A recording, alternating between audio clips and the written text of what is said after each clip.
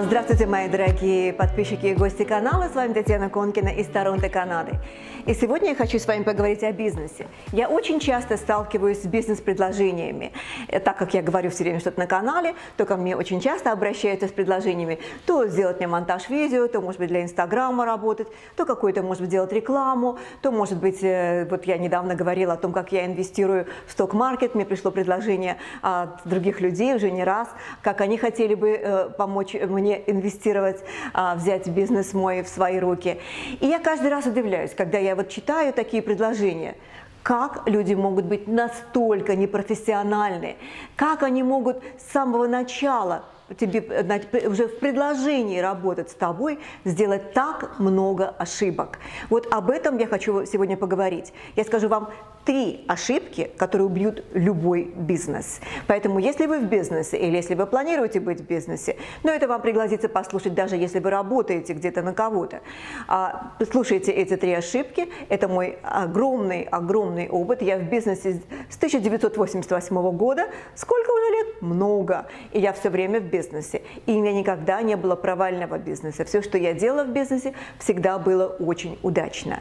В чем проблема? В чем? Что а, действительно убьет любой бизнес? Итак, первая ошибка, которую делают люди. Первая ошибка, которую делают люди, они думают в первую очередь о деньгах, о, о себе, что нужно им, как только они с этого получат денег, они делают бизнес, они ищут бизнес для себя, решая свои проблемы. И это грубейшая ошибка, потому что бизнес это не для себя. Бизнес – это не для денег. Бизнес – это найти то, что нужно другим людям, и сделать это лучше, чем другие. Или сделать это максимально хорошо, что ты только можешь сделать. Максимально решить проблемы других людей.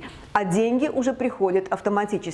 Поэтому каждый раз, когда кто-то ко мне обращается, я вижу, что или человек даже не написал мое имя впереди, а просто сделал большую рассылку, это глупо, это трата времени. Какие вы там проходите эти курсы маркетологов? что вы потом пишете вот такие вот письма. Это, эти курсы, которые вас не научили действительно быть маркетологом, действительно обращаться, чтобы получить бизнес, это все мусор, ерунда. Скажите этим людям, которые вас не обучили, этого не, это не спасибо.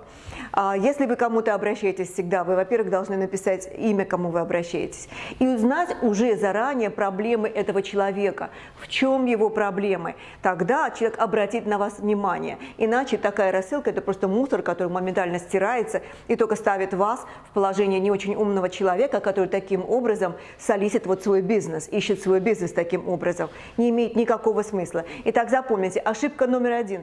Что бы вы ни хотели делать, как бы вы ни нуждались в деньгах, забудьте про деньги. Деньги приходят автоматически, когда вы начинаете решать проблемы других людей. Найдите эти проблемы, что нужно этим людям. Может быть, в вашем районе нет хорошей выпечки, и вы открываете свою э, кондитерскую, и к вам приходят люди. Вы открываете кондитерскую, потому что вы хотите накормить всех этих людей вкуснейшими булочками. Вот это бизнес. И у вас стоит уже очередь, и у вас уже люди покупают и покупают и покупают. И, и вы рады, и деньги к вам льются потоком, и все хорошо. Вот это вот первая ошибка. Всегда ищите э, то, что нужно людям, и выполняйте это с максимальным вниманием, тщательностью и добросовестностью. Вторая ошибка, которая есть в бизнесе, вторая ошибка – это думать, что кто-то глупый, что кто-то глупый, и вы вполне можете его использовать для себя, опять-таки для своих собственных целей. Вы э, думаете, а я ему это подсуну, а я, это пройдет, а это он не понимает, а вот я лучше его это понимаю, я с ним, я буду манипулировать им, и тем самым я сделаю себе бизнес. Глупейшая ошибка, потому что если тот человек, который будет вам платить за бизнес, ну он точно не глупее, чем вы, который нуждаетесь в том, чтобы вам заплатил. Сто процентов не глупее.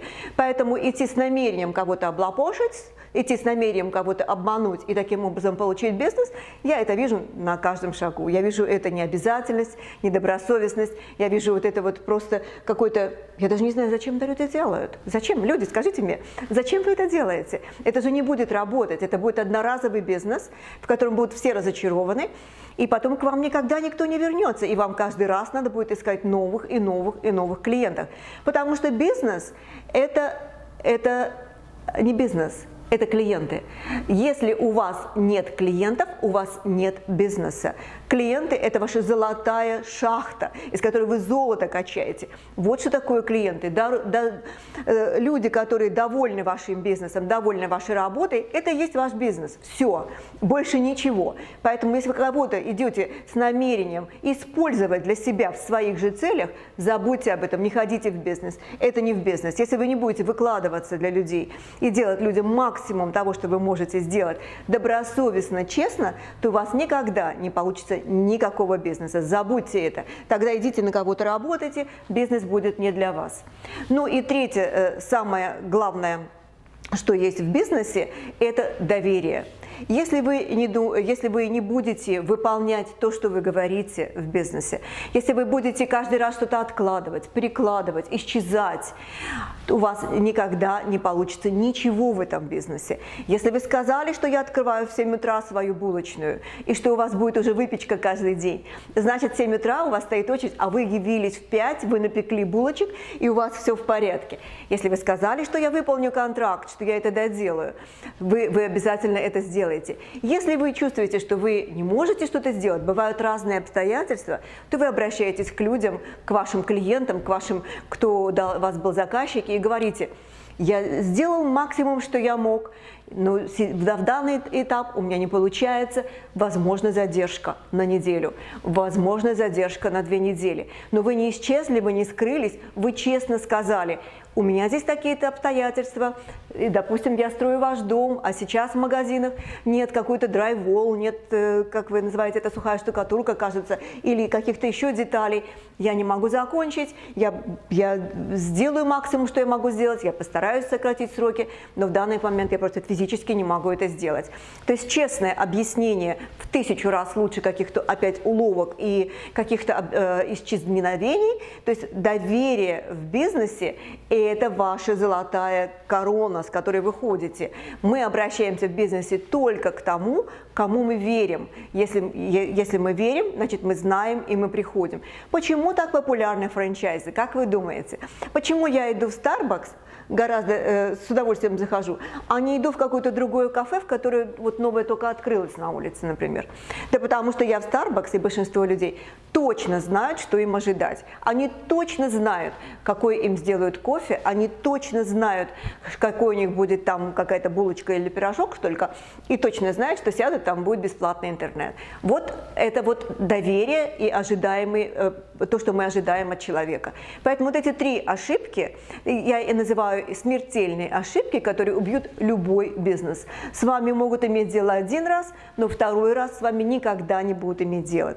Тот человек, который будет видеть, что вы работаете за себя, для себя, для своих, например, я слышу недавно одного очень крупного блогера, который говорит, вам надо научиться продавать, вот продавать там какие-то курсы, что-то еще. Потому что у вас будут дети, которые пойдут в университет, и вам надо будет оплачивать этих детей. Wrong, неправильно.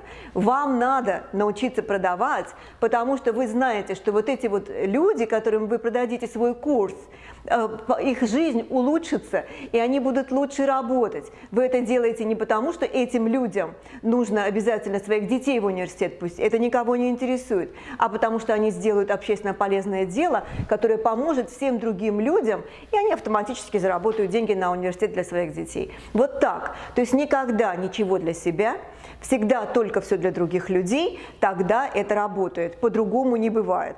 Итак, э, мы работаем не за деньги, мы э, строим доверие, и мы не считаем, что наши клиенты дураки. Три вещи, три ошибки. Если вам понравилось это видео и вы хотите, чтобы было больше таких видео, ставьте лайк этому видео. А я с вами прощаюсь. До следующей встречи. Не забудьте, что я приглашаю вас на марафон, а, который называется «Планируем жизнь» с 12 по, 19, по 17 декабря на моей платформе Instagram. Ссылка на это будет в описании к этому видео. А я с вами прощаюсь. До следующей встречи. Была Татьяна Конкина из Торонто, Канады. Пока-пока. Bye.